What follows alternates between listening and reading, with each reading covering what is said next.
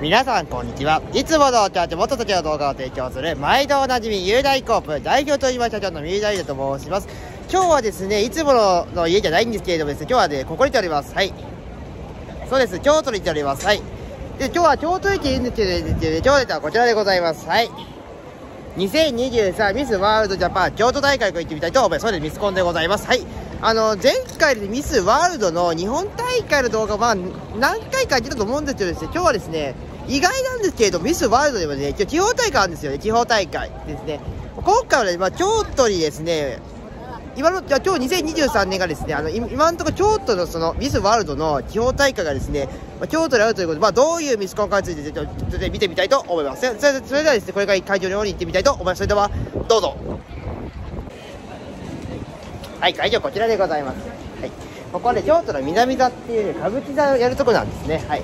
で、ここで京都駅からちょっとですね、2キロぐらい離れたところの祇園ってところにあるんですけれどもですね、で、僕はあの、いろいろですね、ミスコン会場見ていたんですけどですね、この、こんな立派な会場で見るのは多分初めてですね、はい。いや、多分ね、歌舞伎で、この和風のところで多分ミスコンを見る多分初めてだと思います。で、早速ね、中に入ってみたいと思います。はい、ここは会場です。会場こうなってますね。会場は意外に広くてですね、天井もすごい高くなってますね。はい。でですね、舞台のその、歩くとこなんですけどですね、少し左端のところにありますね。はい。お客様でかなり入っておりましてですね、とても賑わっておりました。はい。会場の説明はですね、以上となっています。はい、そんな感じでございます。はい、こちら、海洋駅で配られているパンフレットですね。パンフレットの中を見てみたいと思います。パンフレットを開くとですね、まあ、これはミスワールドのまあ説明とかが書いてありますね。はい。まあ、これはどのミスコも同じなんですけれどですね。はい。でですね、まあ、今回ですね、スケジュールがこれ細かく書いてあるんですけれどですね、あとあの、出演者の情報も入っております。はい。で、こう開くとですね、ファイナリストさんの情報がありますね。今回ファイナリストさんはですね、14名出場となっておりますね。はい。大学生もいればね、モデルさんもいればね、あとはね、中にはですね、よくご存知の方もいらっしゃるか、何人かいらっしゃいます。あとはですね、これはスポンサーの情報ですね。はい。いろいろジュエリーの会社とかですね、ゴルフ場のの運営してる会社とかもいろいろありますね。はい。あと、ゴルフのウェアの会社もありますね。はい。ゴルフフェアのショー、あの、ショーも後で紹介するんですけどね。はい。まあ、いろいろ細かく書いてありますね。はい。一応パンフレット、あとは、まあ、これまとめなんですけれどもですね。はい。一応パンフレットの説明はですね、以上となっております。はい。そんな感じでございます。僕とパイレット記念撮影なんですけれど、ね、はい。で、早速ですね、本編の方に行ってみたいと思います。それでは、どうぞ。お待たせしました。まずはですね、着物でのウォーキングの様子を撮ってみたいと思います。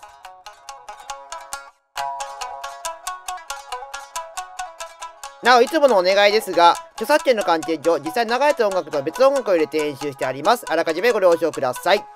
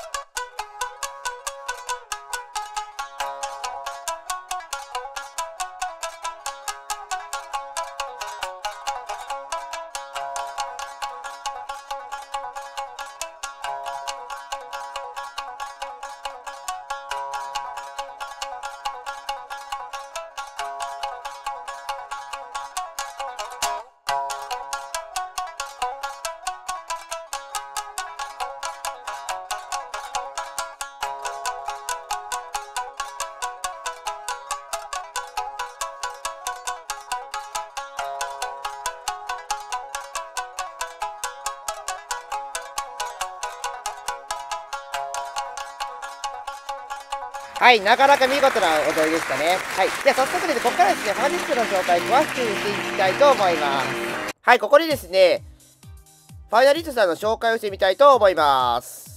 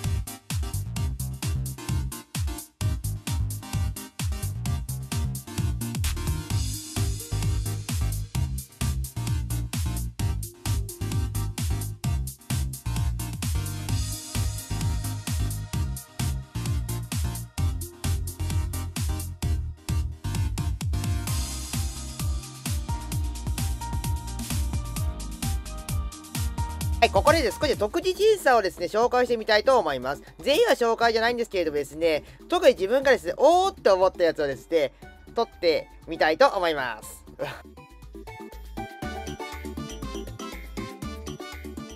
はい、これはですね、フラダンスですね。はい。スターダンスはですね、まあよくハワイとかでよく見るんですけどですね、まあ日本ではね、意外ですね、スパリゾートハワイアンズの、あの、岩手にあるところで多分見れると思うんですけどですね、僕はそこは見る機会ないんですけどですね、これ見るとね、ザ・夏だなーっていう感じはしますね。はい。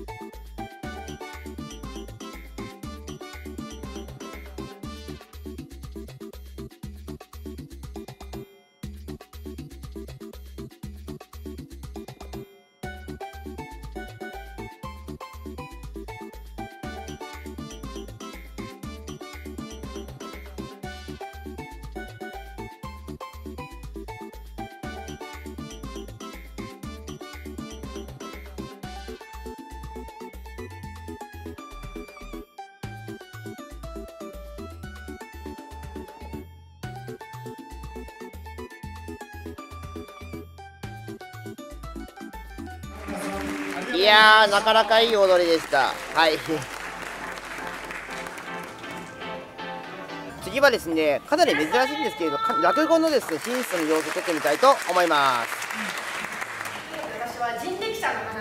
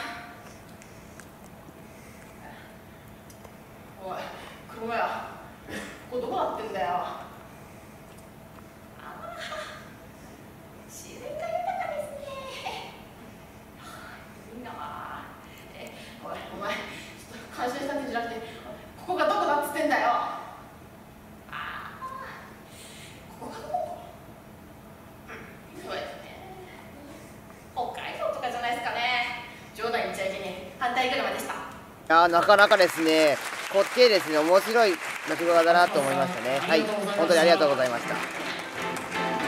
次はですね、旗を用いたですね、ダンスを映してみたいと思います。旗を用いたですね、ダンスなんですけれども、よくパレードとかでよく見かけますね。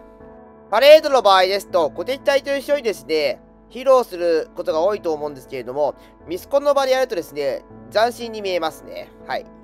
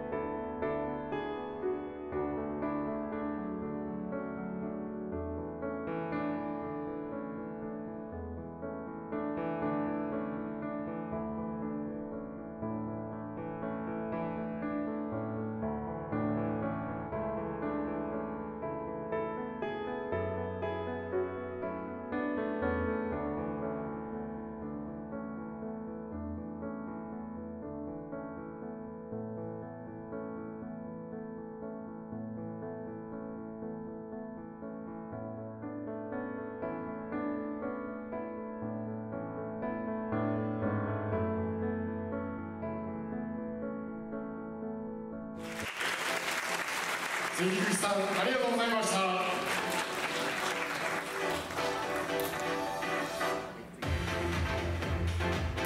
はい、次はですね、サックスの演奏を撮ってみたいと思います。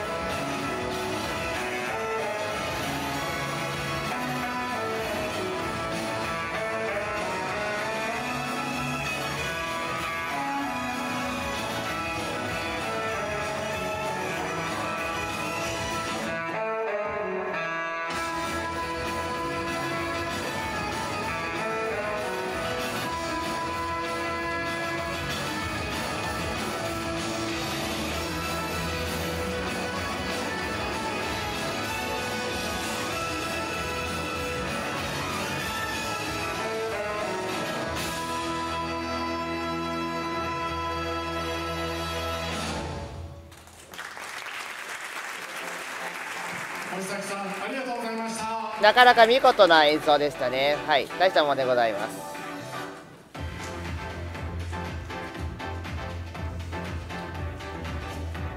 はい。次はですね空手の様子を撮ってみたいと思います。お願いいたします。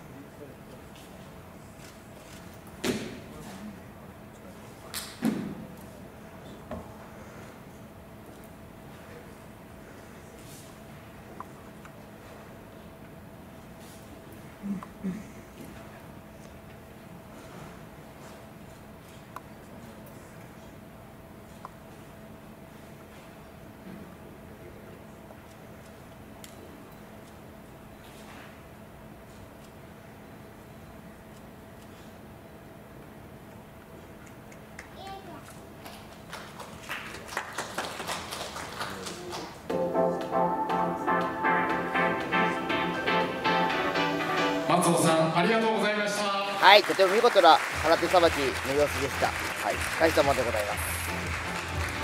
ここでゴルフウェアウォーキングの様子を撮ってみたいと思います。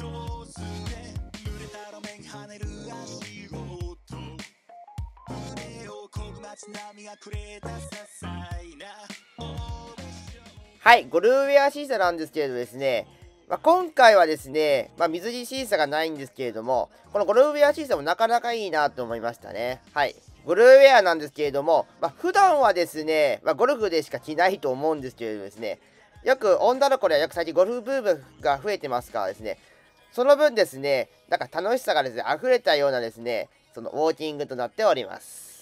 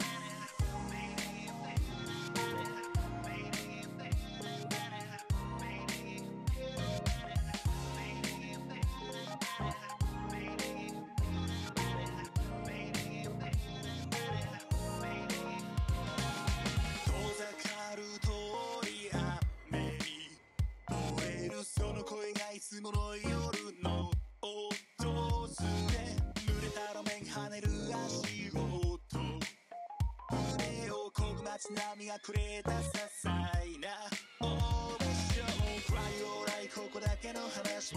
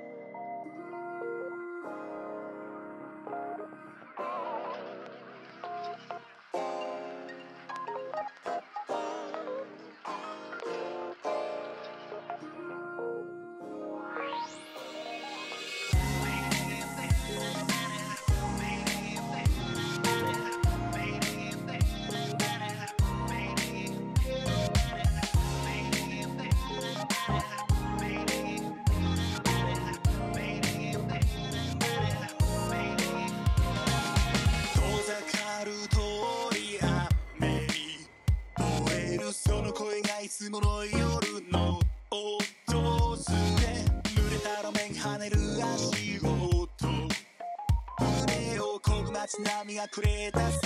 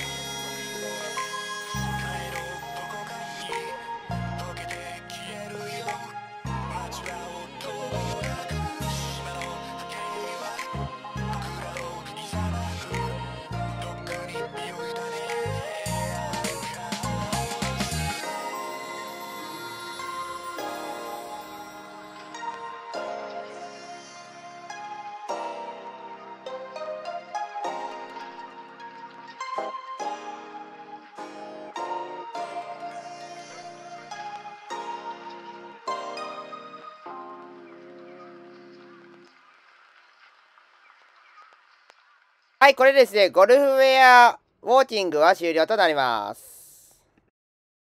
はい、次はドレスウォーキングの様子を撮ってみたいと思います。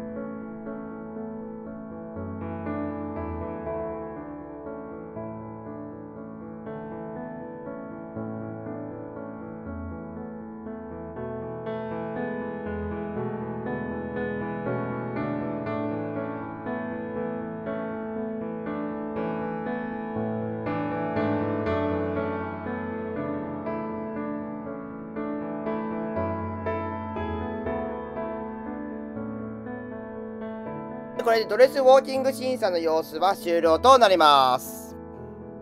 はい、こちら受賞式の様子ですね。プリはですね、エントリーナンバー8番の松尾美咲さんになりました。松尾さんはですね、僕の動画ではですね、2022年3月のベストミス兵庫大会、22年9月のレディリバース日本大会の時にも、僕の動画に出演しており、今回3回目で出演ということでして、僕もですね、大変ですね、嬉しく思っております。はい。8歳でして最後のチャレンジでした。また日本大会に行けることはとても。日本大会に行けることは限られ日本大会へ日本大会ではまた心を引き締めて一から頑張っていきたいと思いますので。松尾美咲さん、2023ミスワールド京都大会グランプリ誠におめでとうございます。ま。た応援よろしくお願いはい、ただいま終了いたしました。えミスワールド京都大会なんですけれどもですね、グランプリに輝いたのはですね、エントリーナンバー7番の星崎かなみさんになりました。はい。ではい、ここではですね、エントリーナンバー7番の星崎かなみさんがグランプリになったと言ってるんですけれどもですね、6月24日にですね、星崎かなみさんがですね、グランプリを辞退しましてですね、準グランプリの松尾美咲さんが繰り上がりでグランプリになりました。皆さん、着物のダンスも良かったですしね、まあ、特技のやつでもですね、皆さん個性が現れてですね、すごい人間性が現れるな、ミスコンだなって改めて思いましたね。はい。まあ、ミスワールドはそういう傾向があるんですけどですね。はい。まあ、そんな感じです。はい。で日本大会はまだわかんないんですけどですね、それもね、いけ、もしいけたらですね、撮ってみたいと思います。そんな感じです。はい。雄大コープの三浦エリスさん、ご視聴誠にありがとうございます。何かしら送りたいと思います。それでは。